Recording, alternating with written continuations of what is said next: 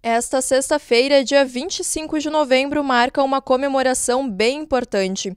É o Dia Nacional do Doador Voluntário de Sangue.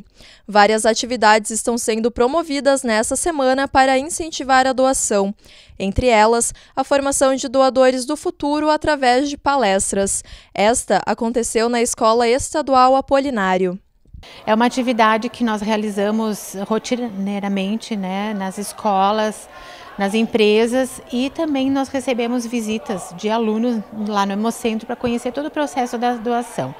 A professora de ciências acompanhou a atividade e está confiante na conscientização dos alunos e alunas. Essa palestra esse ano é a primeira vez que está acontecendo na escola. É bem importante conscientizar as pessoas né, a importância da doação, tanto de medula como de sangue. Também divulgue nas suas famílias que a partir disso sempre tem alguém que, que depois de uma palestra na escola, se uh, voluntaria para doar. E o resultado já pôde ser notado logo ao fim da palestra.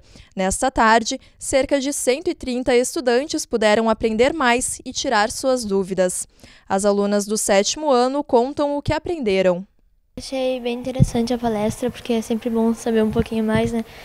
Porque, tipo, eu não sabia quantos anos tinha para dar sangue, nem a idade, os dias que tu tinha que esperar para dar de novo. Tipo, eu não sabia de onde que era a medula, tipo isso, e eu aprendi aqui. Com certeza, quando tiver idade, vai querer procurar o Emox para doar sangue. Sim, com certeza. Fazer uma boa causa é bom. E este pensamento deve ser comemorado. O Hemocentro Regional de Caxias do Sul atende a 49 municípios da região. Para isso, precisa de cerca de 50 doações por dia. É importante lembrar que as mulheres podem doar sangue até três vezes no ano, uma a cada três meses. Já os homens podem doar até quatro vezes por ano, uma a cada dois meses.